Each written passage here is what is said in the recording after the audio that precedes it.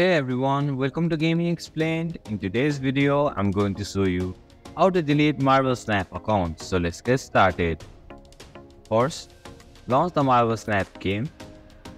Tap on the settings option from the top left corner of your screen. Here, you can scroll down and find the delete account option. Simply tap on the delete account option.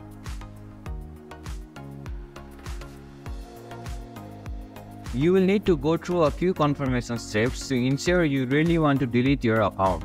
So, tap on the checkbox from the bottom of your screen. Tap on the next step option.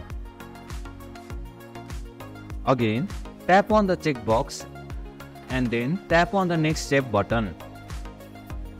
Tap on the next step button again.